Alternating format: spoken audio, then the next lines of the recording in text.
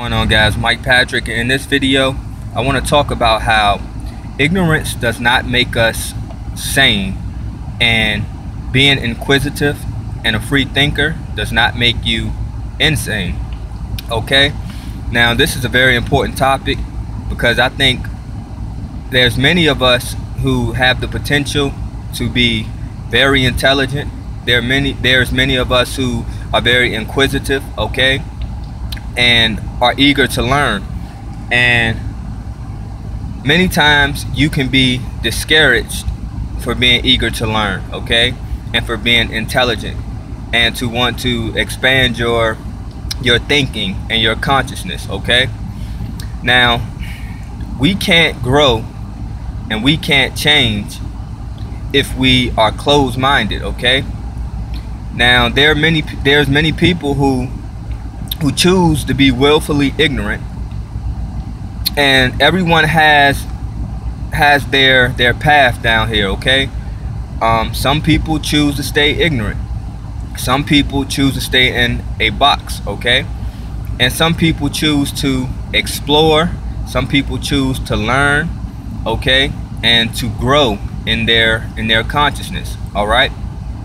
Now um, with that said there's many people who have potential to be intelligent okay and to um, maximize their potential and expand their consciousness okay for the betterment of themselves and for the betterment of their group be it race um, sex you know gender whatever you know. So the thing is the only how we can make advancements is if we have free thinkers okay? Um,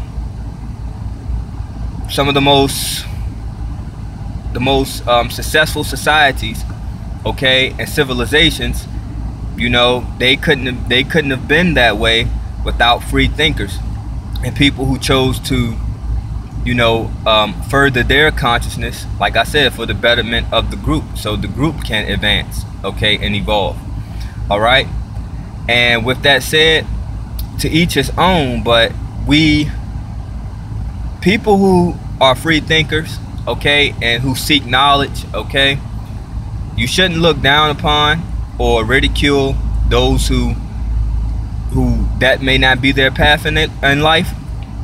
And at the same time those who are com comfortable with being in a box and who don't want to learn grow and change. Um, it's not your place to ridicule or to criticize those who choose to learn more than just a handful of things okay?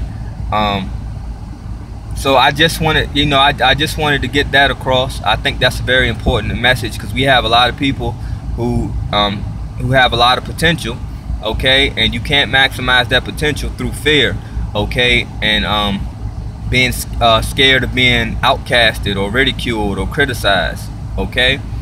Um, you know be yourself okay? Be different. Embrace being different okay?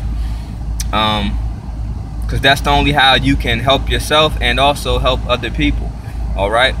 So hopefully this was a helpful video guys. Thank you. See you next time